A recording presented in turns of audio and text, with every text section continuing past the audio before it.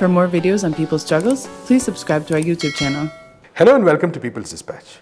Today, we are joined by Bamdev Gautam, a secretariat member of the Nepal Communist Party and the coordinator of the All Nepal Peasants Federation. Thank you, comrade, for joining us. Bamdev जी पहले आप अ, आप किसानों के संगठन के वरिष्ठ नेता हैं आप ज़रा हमें बता सकते हैं कि इस ऑर्गेनाइजेशन के अभी की सिचुएशन में क्या क्या मांग है गवर्नमेंट से किसान महासंघ बना है हमारा। ये सभी जनवरी के संगठन हमारे देश में तेईस हैं। इनमें शक्तिशाली संगठनों में एक किसान महासंघ भी पड़ता है। एक साल पहले पार्टी एकीकरण होने के बाद हमने किसान महासंघ को अभी अभी एक साल के बाद ही यूनिफाइड करने के लिए अ, कुछ सकारात्मक काम किए हैं लेकिन पूरा यूनि यूनिफिकेशन नहीं हो पाया है। अ, हमने पहले क्रांतिकारी भूमि सुधार की बात उठाई। भूमि सुधार तो किसी तरह हमने नारा लगाते रहे भूमि सुधार होता रहा। ये भूमि सुधार सुधार ही। और अब तो भूमि सुधार की आवश्यकता नहीं है। कुछ व्यवस्थापन में भूमि सुधार के कुछ कुछ काम बाकी है, उसको कर दिया जाएगा। लेकिन हमारे देश में पहले जमींदारी प्रथा था। अब जमींदारी प्रथा नहीं है। जितनी ज़मीन है वो सब निजी क्षेत्र में चला गया। दो तीन परसेंट ऐसे लोग हैं जिसके पास ज़्यादा ज़मीन है। उसका हदबंदी कर दिया गया है। दस बीघा से ज़्यादा कोई भी नहीं रख सकता।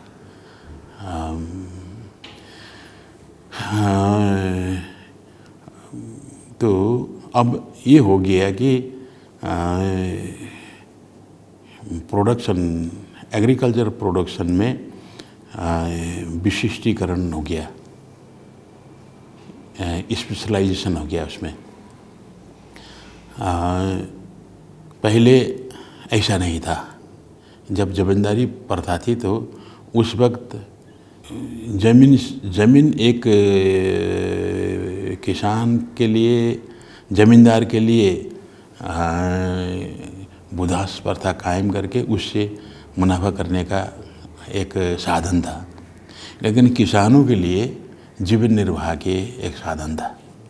अब वो जीवन निर्वाह के साधन नहीं रहा। तो उसमें व्यवसायीकरण थोड़े थोड़े करके व्यवसायीकरण होने लगा।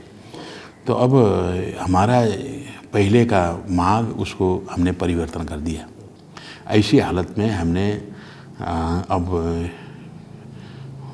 सबसे पीछे बाद में अभी अभी अभी हमें चार साल पहले हमने हमारी किसान महासंघ के जो सम्मेलन किया उसमें से हमने एक नारा हमने बुलंद किया। अब किसानों को ज़मीन बांटने की बंटवारे की काम अब क्रांतिकारी नहीं बना, क्योंकि वैसा ज़मीन हमारे पास है ही नहीं। ना ज़मींदारी पड़ता है, ना तो ज़मींदार से ज़मीन बलजफ्ती लेके किसानों को बांट दिया जाएगा। बांटने से बंटवारा करने से ज़मीन खंडीकरण हो जाएगा, लेकिन व्यवसायीकरण नहीं हो पाएगा। इसलिए हमने ज़मीन को अब चकलाबंदी कर दिया जाए। अ, किस तरीके से चकलाबंदी कर दिया जाए? एक राज्य मुआवजा दे के ज़मीन अधिग्रहण करे। दूसरा समूह समूह समूह को प्रेरित करके उनके पास जितना ज़मीन है गाँव के गाँव वहाँ चकलाबंदी कर दें। सामूहिक हिसाब से चकलाबंदी करें।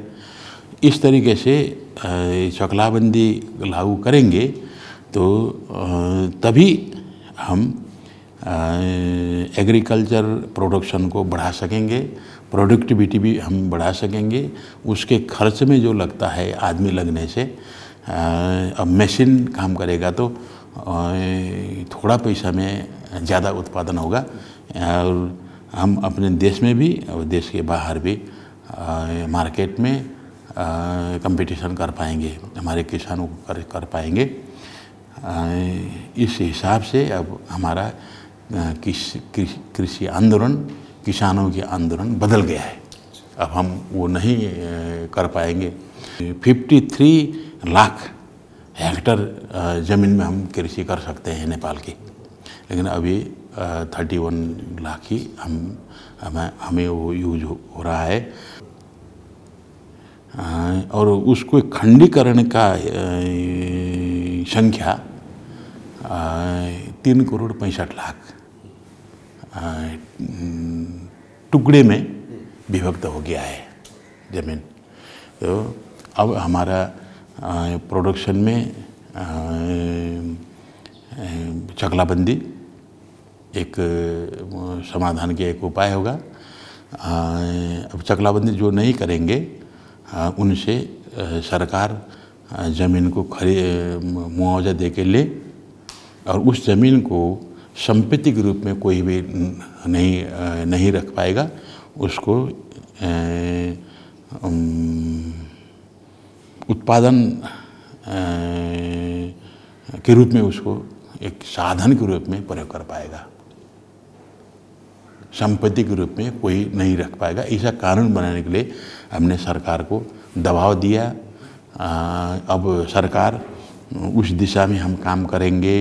इस बार भूमि सुधार का भी नीति कार्यक्रम में जो सरकार ने संसद में पेश किया है उसमें ये लिखा है चकलाबंदी के लिए भी लिखा है।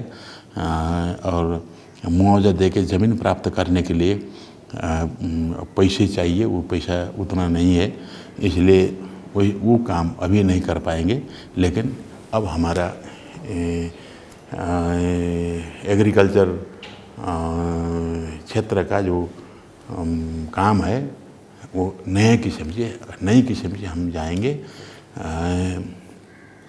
अब हम तो आ, हर उत्पादन के साधन को रूपांतरण में लगने के लिए हमने संविधान बनाया संविधान में लिखा। नेपाल की जो सामाजिक और आर्थिक रूपांतरण है वो समाजवाद उन्मुख होना ही चाहिए। संविधान में हमने लड़ाई करके उसको रख दिया है। आ, हम सरकार में रहेंगे तो भी वैसा ही करना पड़ेगा और कोई सरकारी में आएगा वो भी वैसा ही करेगा। धन्यवाद। That's all we have time for today. Keep watching People's Dispatch.